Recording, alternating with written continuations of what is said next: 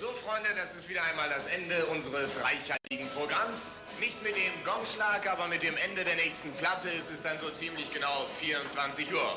Eine gute Nacht wünsche ich und bis bald.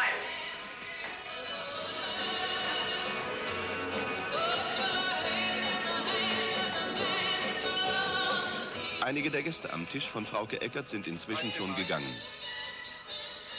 Stimmt so. Dankeschön. Vier Bier? Vier Mark, bitte.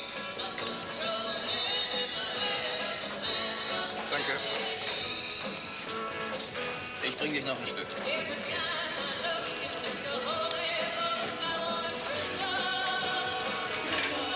Gute Nacht.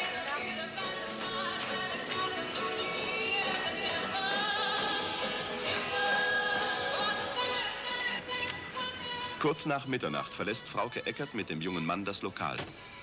Die Straßen der Stadt sind um diese Zeit fast menschenleer. Jack ist der letzte ihrer Freunde, der Frauke Eckert in dieser Nacht gesehen hat.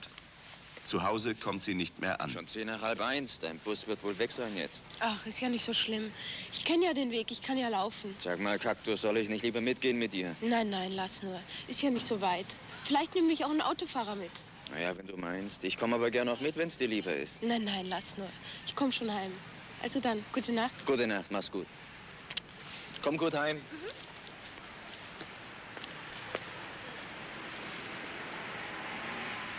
Mit großer Wahrscheinlichkeit ist sie in der Nähe des Frauentorplatzes zu ihrem Mörder ins Auto gestiegen.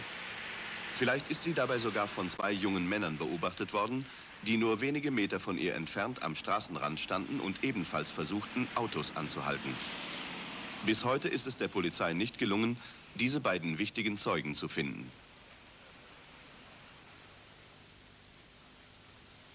Zehn Tage nach ihrem Verschwinden, am 10. Juni 1971, wird die Leiche des Mädchens gefunden. Spaziergänger haben sie nur wenige Autominuten von Ravensburg entfernt am Rande eines Waldwegs entdeckt. Der Täter hat das Mädchen mit einem Messer getötet. In unmittelbarer Nähe des Tatorts finden die Beamten der Kripo Spuren, die auf einen kurzen Kampf schließen lassen. Da, hier. Ist was. Eine Schnalle aus Plastik. Zerbrochen. Und ein Knopf. Das scheint die Schnalle vom Mantel zu sein. Wird abgerissen sein, als der das Mädchen angegriffen hat. Und der Knopf sieht nach Hosen.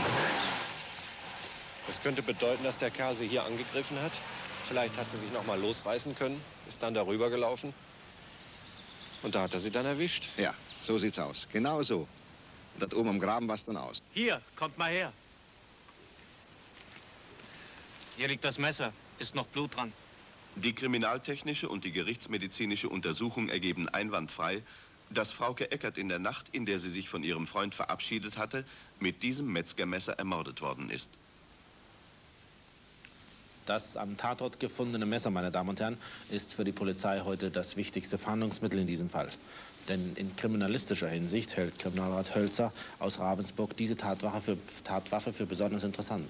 Ja, Herr Zimmermann, wir glauben nämlich, dass der Täter dieses Metzgermesser mehr oder weniger zufällig äh, für die Tat benutzt hat.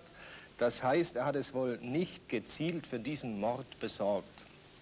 Und er hat deshalb nicht darauf geachtet, wie wir annehmen, dass es ihm möglicherweise zum Verhängnis werden kann. Aus der kriminaltechnischen Untersuchung ergibt sich, dass das Messer einige Zeit vor der Tat bei Metzgerarbeiten verwendet worden ist. Allerdings ist die stark abgenutzte Klinge zumindest in letzter Zeit nicht mehr fachmännisch nachgeschliffen worden.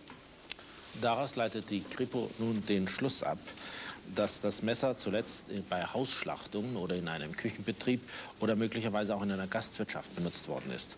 Es kann aber natürlich auch aus einer Metzgerei stammen. Frage, wer kennt dieses Messer? Wo wird dieses Messer seit dem Frühjahr, Frühsommer 1971 vermisst? So sah Frauke Eckert aus. Sie war auffallend klein, nämlich nur 1,50 Meter groß. Und sie hat sich, wie gesagt, am Frauentorplatz in Ravensburg von ihrem Freund verabschiedet und ist vermutlich kurz danach von einem Autofahrer mitgenommen worden. Vielleicht haben die beiden jungen Männer, die zur gleichen Zeit vor dem Frauentor-Kino standen, beobachtet, wie sie eingestiegen ist.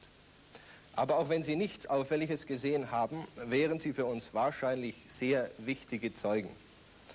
Wir wären deshalb sehr daran interessiert, diese beiden jungen Männer zu finden, die in der Nacht vom Dienstag auf Mittwoch nach Pfingsten, also in der Nacht vom 1. zum 2. Juni 1971, vor diesem Kino in Ravensburg auf Mitfahrgelegenheiten gewartet haben. In diesem Kino lief damals der Zeichentrickfilm Pongo und Perdi. Das Kino liegt an der Bundesstraße vom Bodensee nach Ulm. Wie Sie aus dem Film wissen, meine Damen und Herren, hat Frauke Eckert kurz vor ihrem Tod bei ihrer Dienststelle Urlaub eingereicht. Angeblich, um nach Kopenhagen zu fahren. Bis heute konnte aber nicht festgestellt werden, mit wem das Mädchen dorthin reisen wollte. Frage, wer weiß etwas über diese geplante Urlaubsreise vom 7. bis 14. Juni 1971? Oder von wem ist Frauke Eckert eingeladen worden?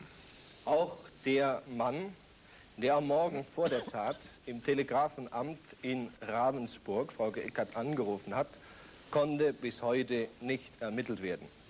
Er hat sich Günther genannt und soll nach Aussagen von Zeugen, die ihn vorher gesehen haben, etwa so aussehen. 35 bis 40 Jahre alt, etwa 1,70 Meter groß, mittelbraune Haare.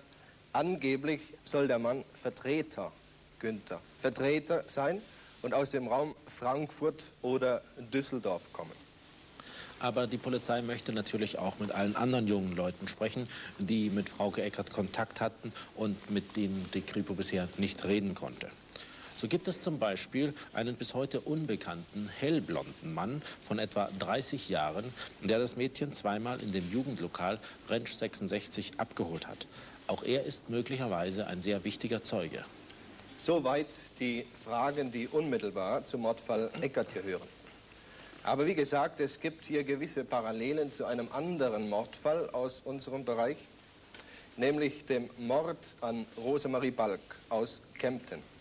Auch sie war zuletzt als Anhalterin in Ravensburg gesehen worden. Auch sie wurde mit einem Gegenstand ermordet, der in Metzgereien und in der Landwirtschaft Verwendung findet, nämlich in diesem Fall mit einem Kälberstrick.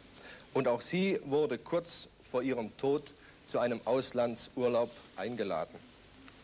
So soll der Mann ausgesehen haben, der Frau Balk damals zu einem Urlaub in die Schweiz eingeladen hat. 40 bis 50 Jahre alt, grau meliertes Haar. Er soll einen Mercedes gefahren haben und beruflich mit Maschinen zu tun gehabt haben. Für Hinweise, die zur Aufklärung des Mordes an Frauke Eckert führen, sind Belohnungen von insgesamt 4000 Mark ausgesetzt.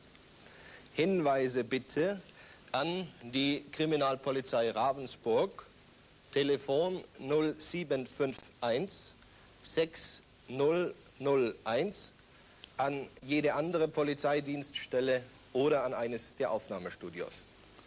Vielen Dank, Herr Hölzer.